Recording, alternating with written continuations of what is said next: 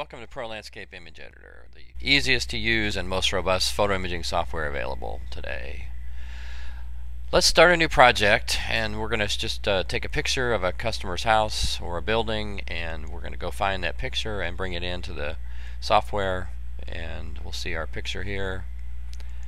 There's the house that we're going to do um, and we notice the sign here so let's go ahead uh, first thing we'll do is cover up that sign. Now we have uh, very advanced cloning tools, uh, brushes where you can replicate areas, um, or for simple things like this, we can just uh, use like a rectangle area and select an area right here of of uh, this stone, for example, and we'll we'll grab some area, of some stone, and create an object out of it, and then just drag that down and cover up the the sign. We're probably going to cover it up with plants anyway. We can stretch this slightly just to make it fit. Um, need to.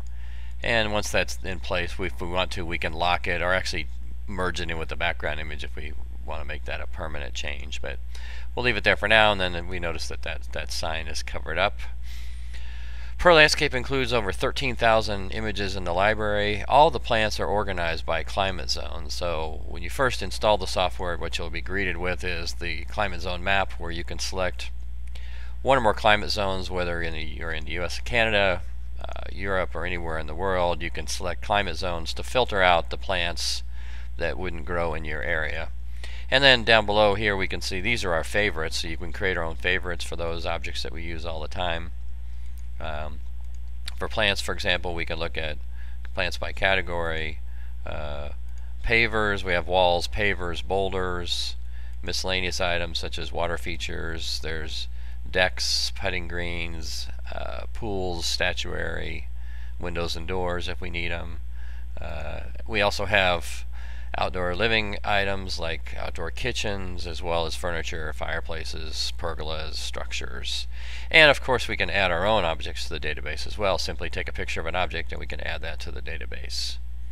So let's get started on this picture uh, by putting in some grass. We'll select the grass that we want by pressing this EasyScape grass tool find the grass we want, and then we just simply outline where we want grass. So we just click along where the green dots are, is where we've clicked, and we outline our grass area, and lo and behold, we've just covered that with uh, some nice looking grass. And then from there, we can start putting in our plants. So the first thing I'll do is I'll maybe grab this, this dogwood here, we'll grab it and drag it out. It's a little bit big, so we can size it down to fit. Move it over here a little bit into place. And let's say we want to rotate that slightly just to get it straighten it up. We can we can rotate it there. And you'll notice that we have um, that tree in place where we want it. And then we'd simply go back and forth to the library. We'll put in um, Alberta spruce over here. Size that down a little bit as well if we need to we can permanently resize these so they don't come in quite as big uh, every time so kind of depends on you and how you want to see things. We'll come down here and we'll find this holly. We'll put some of those in.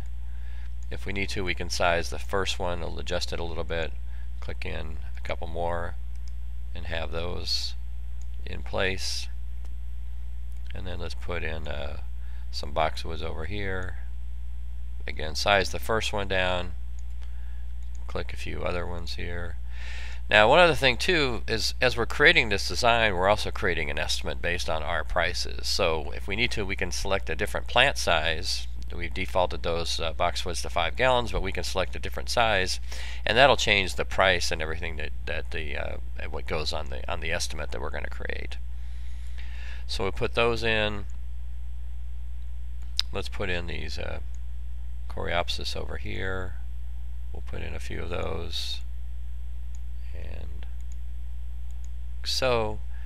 Uh, and then we'll come back and put in some flowers across the front. Now let's use these daylilies and we'll, we'll, we'll take the first one, we'll size it to fit, and then we right click and what we're going to do now is we're going to duplicate and randomize those. So we're going to click one in here and put in a few more, but we don't want to use exactly the same picture over and over and over. So let's let the software change them all slightly. So you'll notice that Some of them are a little lighter, darker, flipped them around. They just blend a lot better and it's really just an automatic thing that we can that we can do.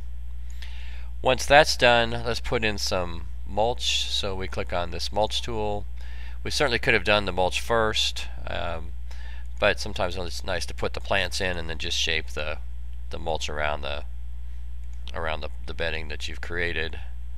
So put that in here, drag it back. Notice that the mulch went underneath all the plants, but above the above the grass. So the layering's done automatically for you. You can certainly move things front to back. And we'll right click to finish. So that's in there. If we need to now, we put the before picture in. It's just an object, a simple click. We add the before picture. Move it up into the corner and there's another object on there.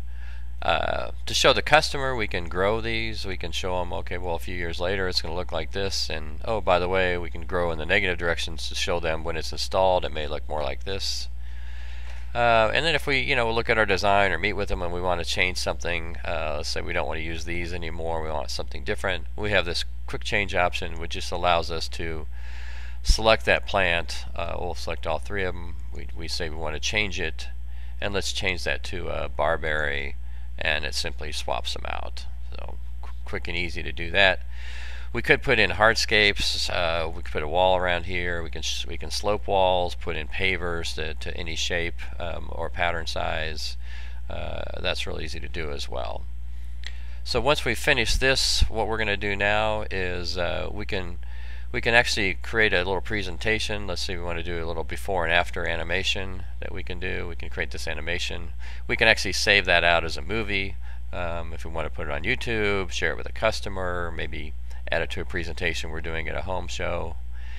And other things we can do if we want to get creative uh, artistically, we can say let's uh, let's render this as a colored pencil look and it'll actually just create a little colored pencil look like we hand sketch this or we can look at a couple different ones. Um, Impressionist is a nice color option. Uh, we could even do like a hand-drawn or charcoal effect uh, with that as well. So a little few artistic options that we have. And then we can save this file um, and then if we want to we can export it as PDF to email it to someone, print it obviously, um, or we can, if we're using the Pro Landscape Companion app, the free app that runs on an iPad or Android tablet, uh, we can create a design file that we could actually go out with our tablet and, and show them on the on the tablet. And if we need to, we can make changes or, or bring and then bring that project back into here. That's a quick overview of the photo imaging aspects of Pro Landscape, just uh, some of the highlights. Thanks for watching.